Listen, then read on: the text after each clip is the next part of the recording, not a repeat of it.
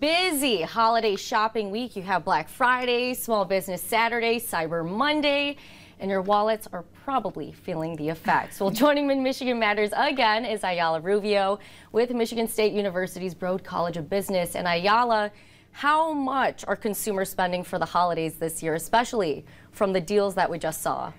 Well, it's a pleasure being here. Um, less than last year, probably.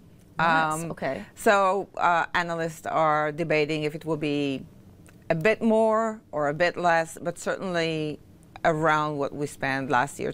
Consumers are trying not to spend more money this year. All right, and a large part of that could be inflation. It's raising prices everywhere.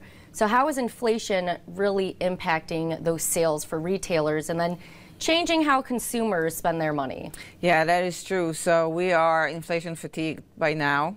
And it's not just inflation, it's not just that prices are continue to increase is the fact that they're already very high mm. for us. I mean, rent alone is almost 30% high since um, went high 30% since 2020.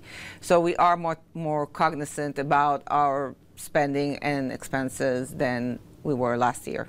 So obviously a large part of people's paychecks probably going towards your rent or your mortgage, your needs. So when it comes to finding those gifts, what are people looking for?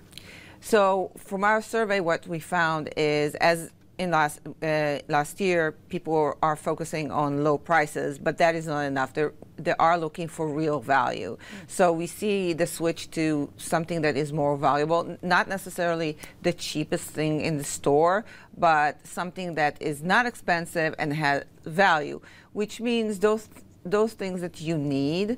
So they won't buy meaningless gifts or just splurge on gifts that have no you know, use, they will focus on the things that they really need. So something practical like wearing a jacket for the winter yeah. season or hey, maybe even an experience or even baking something. I know we were talking about making cookies earlier, right? You put in your time, not your money. Yes. So consumers trying to find ways to save but still give gifts, right? So making your own gift, especially the smaller one. Yeah.